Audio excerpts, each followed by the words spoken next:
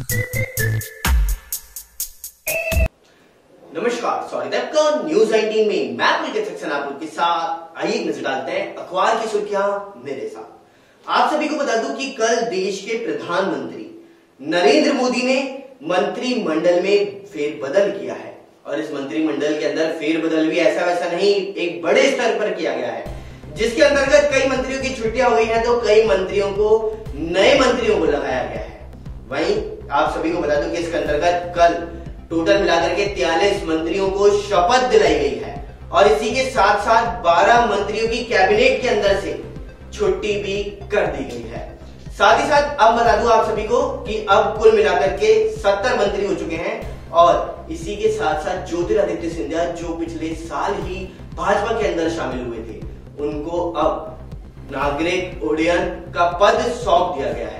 और इसी के साथ साथ अब वह इस पद पर अपना कार्यभार संभालेंगे और कई ऐसे नेता प्रकाश जावड़ेकर जैसों को हटा दिया गया है और इसी को लेकर के वह अचंभित भी बने हुए साफ़ साफ़ नज़र आ रहे हैं। खैर, ये तो मोदी का एक फैसला है कि आखिरकार किस प्रकार से देश को चलाना है और देश को आगे तक लेकर के जाना है।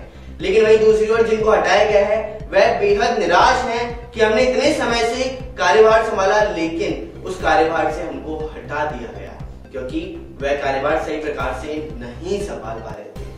साथ ही साथ आप सभी को एक बात और बता दूँ कि राजस्थान की राजधानी जयपुर सहित कई जगह पर हवा के अंदर शुद्धता नज़र नहीं आ रही है, और हवा के अंदर लगातार बेहद ही जहरीली गैस घुलती हुई नज़र आ रही है।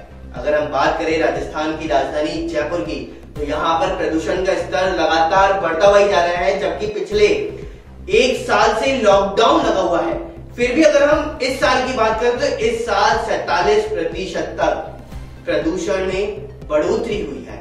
और वहीं हवा के अंदर नाइट्रोजन डाइऑक्साइड की मात्रा सैतालीस प्रतिशत तक बढ़ चुकी है। वहीं इसी में आप सभी को बता दूँ कि दिल्ली की बात करें तो दिल्ली सबसे ऊपरी स्थान पर है, वहाँ पर 125 प्रतिशत तक नाइट्रोजन डाइऑक्साइड की मात्रा बढ़ी है तो वहीं मुंबई के अंदर बावन प्रतिशत, बेंगलोर के अंदर नब्बे प्रतिशत और हैदराबाद के अंदर उनसठ प्रतिशत तक इसमें बढ़ोतरी देखने को मिली है। साथ ही साथ, आप सभी को एक बात और बता दूँ कि राजस्थान के अंदर इकतालीस पॉइंट ज़ीरो सात प्रतिशत लोग ऐसे हैं जिनको कोरोना की पहली डोज लग चुकी है। वहीं आठ पॉइंट अड़तालीस प्रतिशत लोग ऐसे हैं राजस्थान के अंदर जिनको दोनों डोज लग चुकी हैं। और अब इसमें परेशानी की बात तो यह है कि डोज की मात्रा आ रही है कम और लगवाने वालों की संख्या हो गई है ज़्यादा।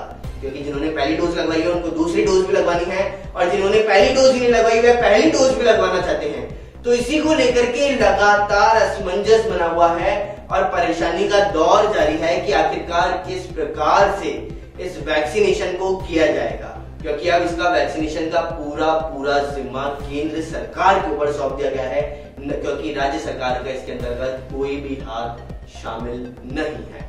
वहीं आप सभी को आंकड़ों से भी अवगत कराता हूँ कि राजस्थान की राजधानी जयपुर के अंदर कोरोना अब कम हो रहा है। और अगर हम कल की बात करें तो कल सत्रह केस जयपुर के अंदर देखने को मिले हैं और इसी के साथ अच्छी खबर यह है कि एक भी व्यक्ति की कोरोना की वजह से मौत नहीं हुई है जयपुर के अंदर। तो वहीं जयपुर के सांगनेर के अंदर सबसे ज़्यादा केस देखने को मिले हैं और वहाँ पर चार कोरोना के पॉजिटिव मामले कल सामने आते हुए नज़र आए हैं। तो इसी के साथ अखबार की सुर्खियों के अंदर तो फ़िलहाल इतना ही। बने रहिए न्यूज़ 19 के साथ। नमस्कार।